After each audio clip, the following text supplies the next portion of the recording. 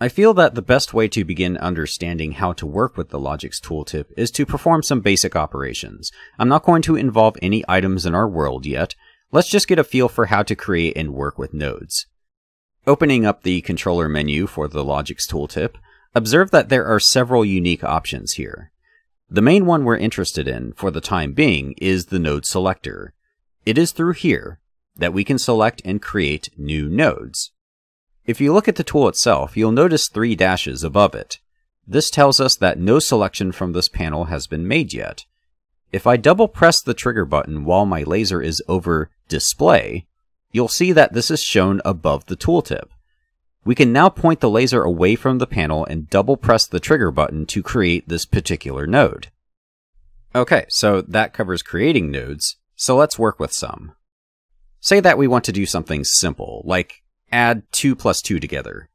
To do that, we need an operator, more specifically, the plus sign. Now, in order for this to do anything useful, it needs to be fed at least two inputs. So I'll visit the input category, and for right now, I want you to ignore everything here except for int, which stands for integer. In other words, a number without decimals. We need two of these, and these nodes can be plugged into the plus node.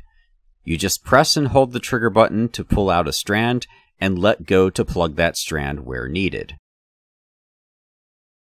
From here, we need a display node to see the result of our changes, so I'll add that in as well.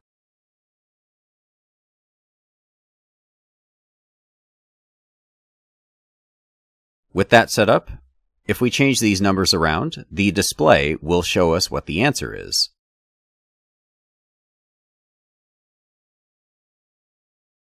There are a few things I want to explain before we move on to the next segment. I want you to know that there is a shortcut for creating a display node. If you pull out a strand for any output and press the secondary action button, it will create a display node there without you needing to select it from a menu first. Also, you can sever the connection between nodes by pointing your laser upward, holding the trigger, and dragging.